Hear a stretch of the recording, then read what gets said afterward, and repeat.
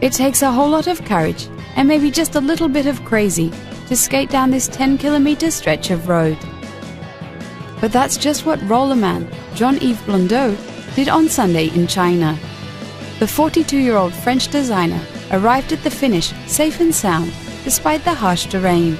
Nothing is, uh, everything is okay, just the strap went out. The, the wheels are still a little bit warm. The rollerman reached speeds of up to 80 kilometers per hour during the 20 minute feat. The eventer used a 34 wheel roller suit for the ride, which covered a distance of 10.77 kilometers and contained 99 sharp turns, most of them U turns.